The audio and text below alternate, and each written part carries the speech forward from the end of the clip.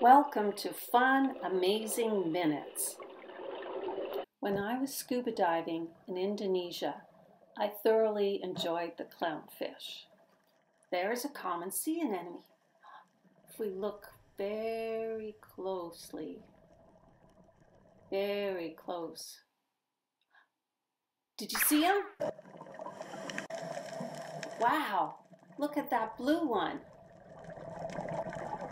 Let's take a closer look. I see one. Oh, there he is. Ah, I think there's two.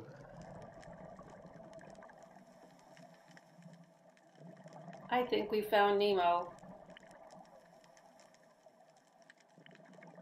Look closer. Ah, I think, could it be?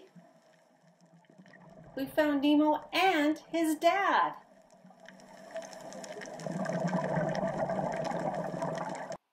Bye, Nemo.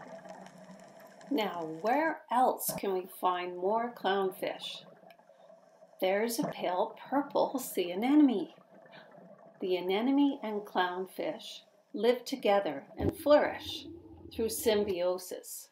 The clownfish is protected by the stinging tentacles of the anemone.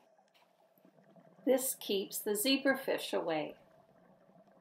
Together they have a symbiotic relationship called symbiosis. What do we have over here? It's the cousin of the clownfish. It looks like they're just as shy. It looks like they have the same symbiotic relationship. Watch that black fish. He's staying clear of those dangerous tentacles. The cousins are safe as long as they stay close. There's a lot of them in there. But look out. I bet you that, oh, there he is. He's peeking around, swimming around, just waiting for one of them to get far enough away from those dangerous tentacles.